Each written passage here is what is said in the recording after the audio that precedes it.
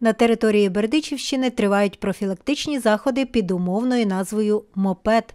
Патрульні із метою запобігти нещасним випадкам спілкуються із водіями двоколісників, нагадуючи про неухильне дотримання правил дорожнього руху, а також швидкісних режимів і маневрування, зазначають у поліції.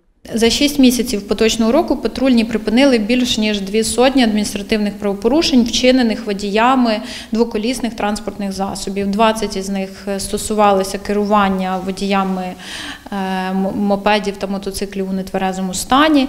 Е, 58 керманичів е, керували без відповідних документів, та більш ніж у сотні випадків е, нехтували засобами особистої безпеки, тобто їздили без мотошоломів.